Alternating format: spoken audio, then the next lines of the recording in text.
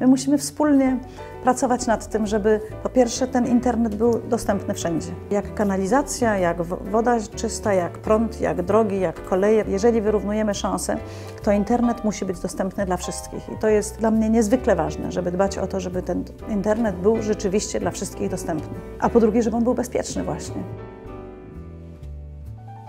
Dlatego 7 czerwca postaw na Polskę.